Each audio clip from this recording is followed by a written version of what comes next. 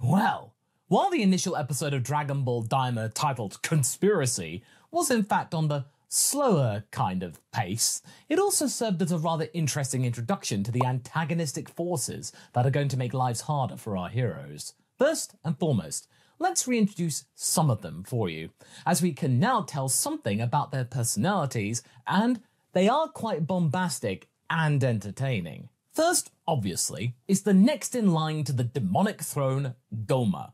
We don't exactly know how the line of succession works within the realm of Dabura's world, but what we do learn is that he himself was the successor of his father, King Abura. For now, the little jester like entity doesn't really look to be related to Babidi's second hand man, and if you watch the episode closely, he might not be as delighted by the prospect of rulership as was initially thought. Sure, he brushes it off as being worried about Babidi and Buu, not being aware that they were defeated by Goku and friends at the time, but something tells me that there is something more than that than meets the eye.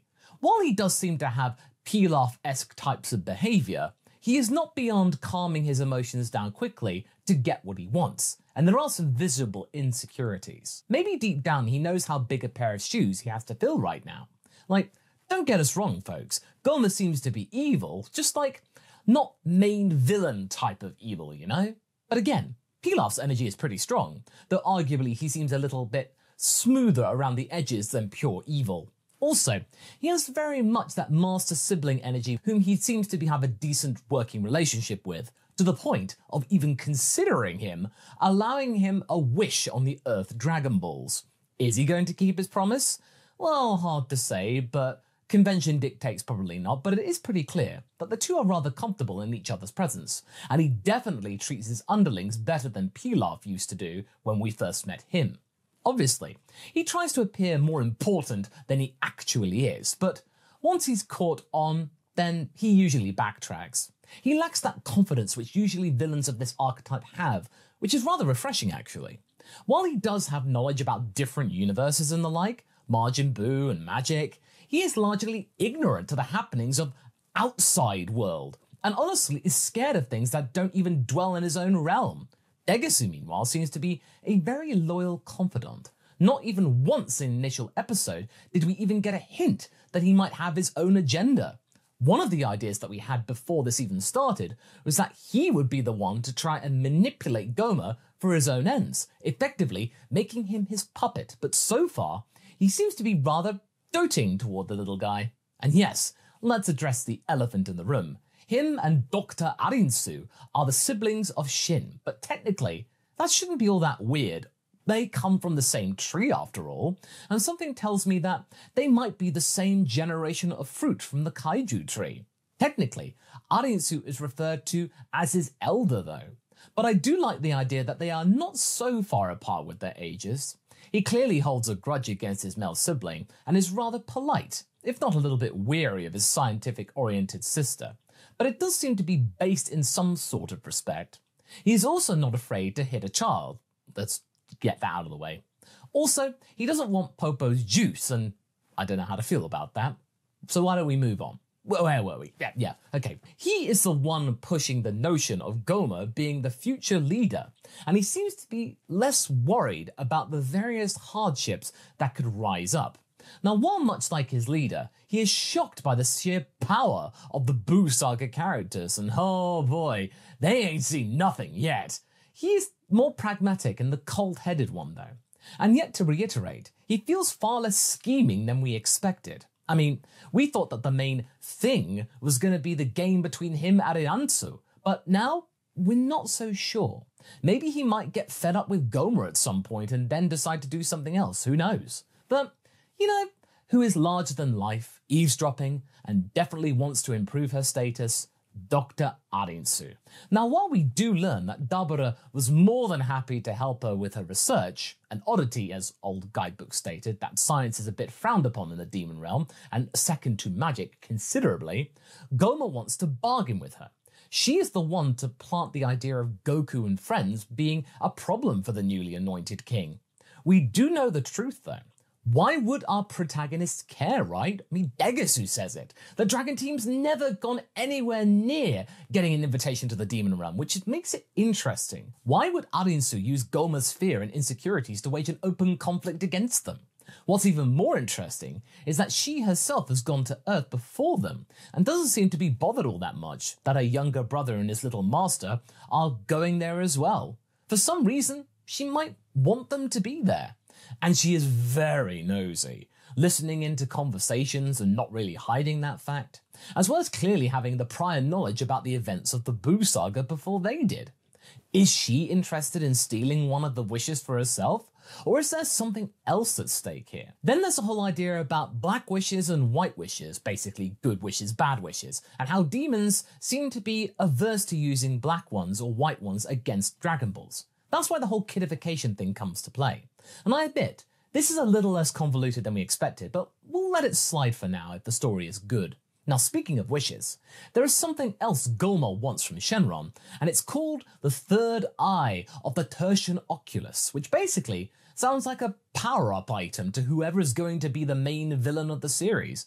Is this this series MacGuffin? But supposedly, it was a powerful artifact that was lost during the times of Dabura's father, Abura, who we mentioned earlier.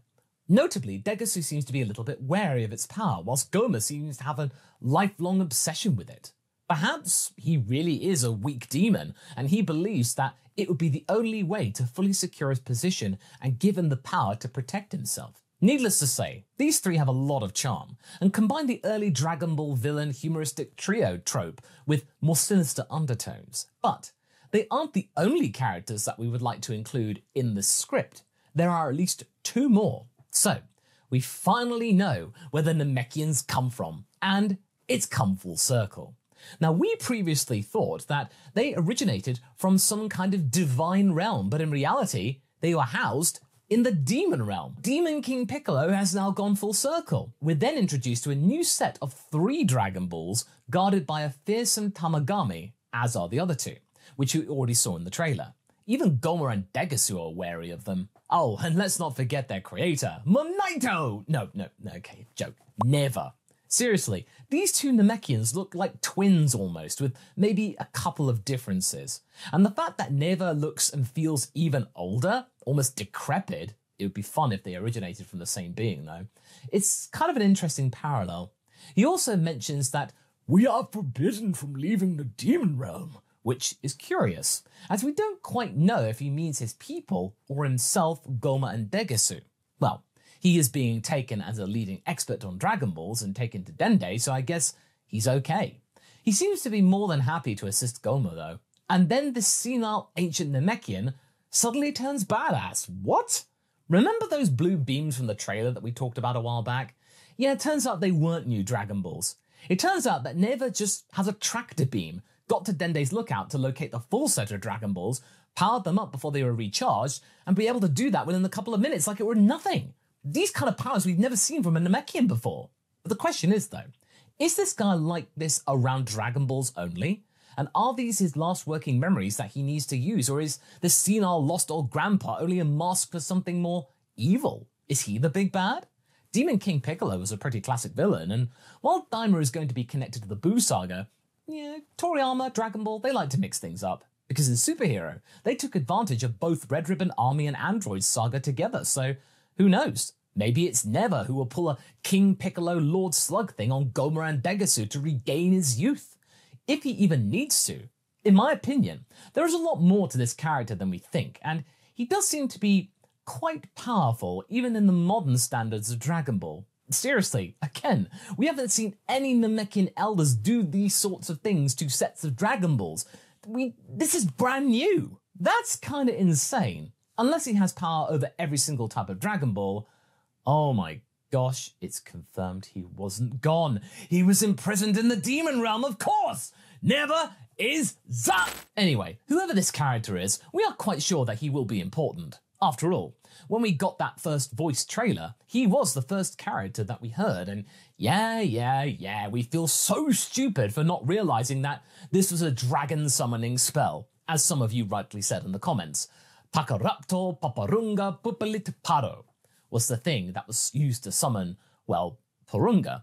And the thing that we heard in the first trailer was simply Potorat Dororis Perplit Paro, which only proves that at some point we are going to be seeing and discovering a new internal dragon called Dorusi. Sounds exciting. I do wonder what the design will be though, as this thing seems to be demonic in origin, so demon dragon? But then again, aren't technically all dragons now demons? Anyway, after those few scenes, it is hard not to count Neva out as an interesting party in the conspirator pantheon, whether as the true mastermind behind it all, or a wise entity trying to teach the younger demons a lesson. It's hard to say, but for now, we are not buying the simple senile old man shtick. We're onto you and your tricks, Moon Knight. Never. I wonder if he likes Bardock as well. Well, that would be the end of it all, but we then got a glimpse of Glorio.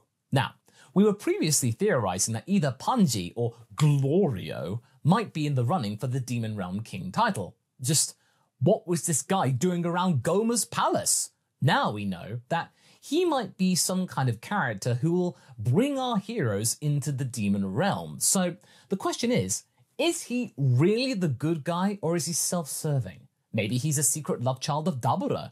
Or maybe he's just a noble but misguided character. It's hard to say.